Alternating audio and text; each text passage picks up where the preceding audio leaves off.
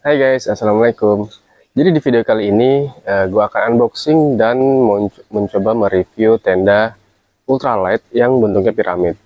Nah, salah satu kelebihan dari tenda piramid ini adalah uh, karena bentuknya yang segitiga, atasnya lebih runcing, jadi dia otomatis akan lebih tahan badai.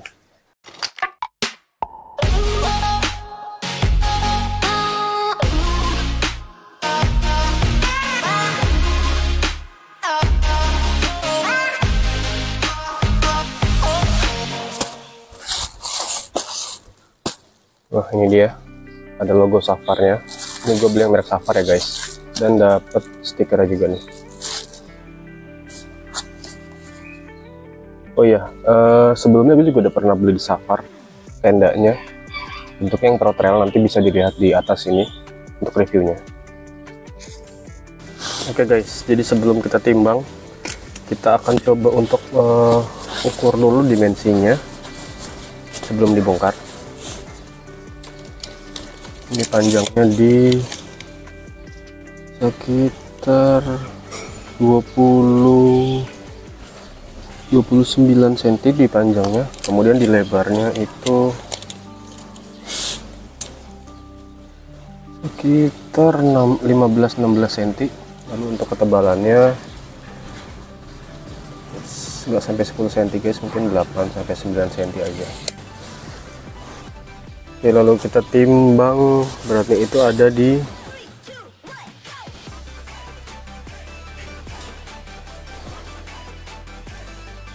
sepuluh delapan lima.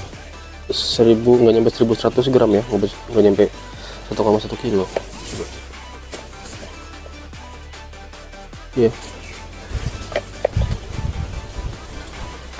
tidak nyampe 1,1 kilo guys enteng sih mantap Oke okay guys, jadi di sini gua akan uh, menggelar tendanya ya. Tapi sebelumnya gua akan sedikit menjelaskan untuk apa aja yang kita dapat dalam pembelian paketnya. Di dalam paket pembelian tendanya, kita akan dapat uh, outernya lalu kemudian ada innernya ada guideline-nya juga dan kita dapat pasak. Pasaknya itu kita dapat e, 10 ya guys. Tapi yang e, bentuknya yang L yang pasak biasa. Di sini gue lagi pegang innernya. Ukuran dari innernya sendiri ini adalah 100 cm dikali 200 cm dikali 110 cm dan yang gua punya ini adalah yang tipe half mesh ya guys. Gua memilih half mesh ini dengan pertimbangan agar ketika nanti dibawa ke atas gunung akan lebih hangat jika dibandingkan dengan yang full mesh. Tapi yang half mesh ini juga ada kekurangannya guys. Jika dibandingkan dengan yang full mesh yang half mesh ini relatif akan lebih berat jika dibandingkan dengan yang full mesh karena bahan full mesh itu kebanyakan dari jaring jadi materialnya lebih ringan.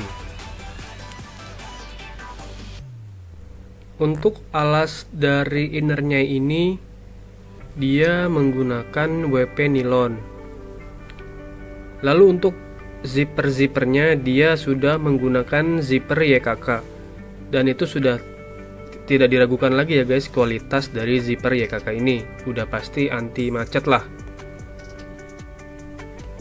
Nah ini tendanya sudah hampir jadi ya guys sudah 50% untuk bagian outernya ini dimensinya ada di 220 cm dikali 220 cm dikali 120 cm jadi tingginya dari tenda ini ada 120 cm. Jadi pada saat ingin memasukkan trekking pole kita ke dalam di tengah-tengah, kita jangan langsung setel di 120 cm guys, karena nanti akan uh, kesulitan. Jadi kira-kira kita setel di 115 lah baru kita bisa masukin dan ketika sudah masuk baru kita bisa setting ke 120 cm guys. Tapi 120 cm itu tidak mutlak ya guys. Ngikutin dari keadaan kontur tanah yang kita tempatin aja nantinya. Kalaupun nanti kita dapat tanah yang agak berundak ya kita ikutin aja. Misalnya kalau kita dapat tanah yang agak tinggi ya kita setting tracking pole-nya di bawah 120 supaya bisa menyesuaikan.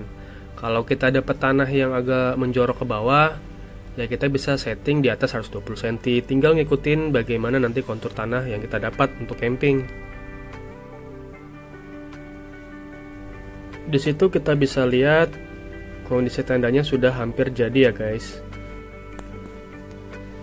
Gua sarankan sih ketika kalian bangun tenda ini di awal-awal itu pasaknya jangan terlalu kenceng guys. Karena pasti nanti kita akan beberapa kali mengadjust dari pasaknya supaya tendanya bisa lebih firm lagi. Oke guys. Jadi ini adalah tampilan depannya. Ini terasnya panjang ya guys. Jadi untuk tempat tidurnya itu hanya separuh dari panjang uh, tendanya jadi terasnya itu luas banget vestibulnya luas banget jadi bisa taruh untuk barang-barang apa aja. Nah ini kita lihat untuk ruang tidur ya dia menggunakan pintu model setengah gini guys. Bukan yang model pelangi ya kalau pelangi kan dia uh, full itu bukanya. Ini gue coba masuk ke dalam ya guys.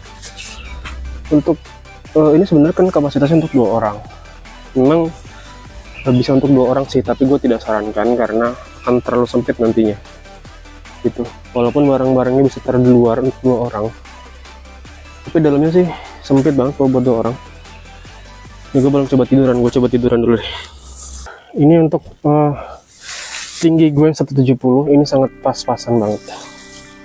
Itu jadi atasnya atasnya cukup lega ruang kepalanya ini by the way kaki gue gue pentokin ke bawah dan atasnya masih sisa sekitar 20 cm dan untuk uh, luas kanan kirinya itu masih luas ya cuman karena ini piramid jadi uh, sebelah sininya sebelah belakangnya itu agak sempit. Itu guys. Jadi memang gue sarankan sih untuk satu orang aja.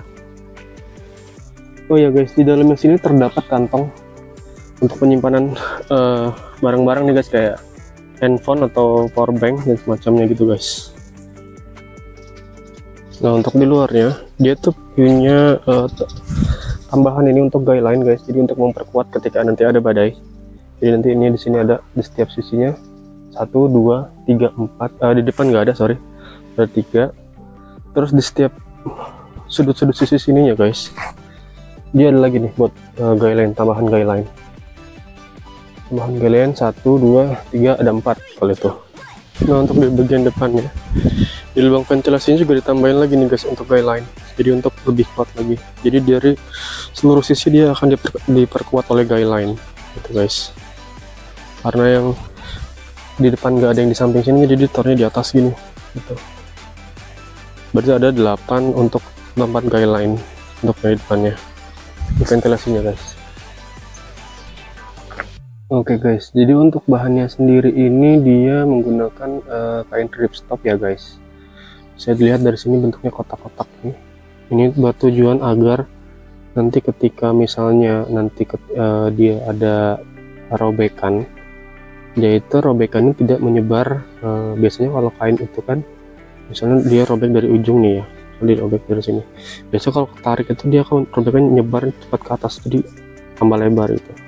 Nah untuk ripstop ini dia uh, sedikit mengurangi efek tersebut jadi ketika ada robekan kecil dia tidak akan menyebar.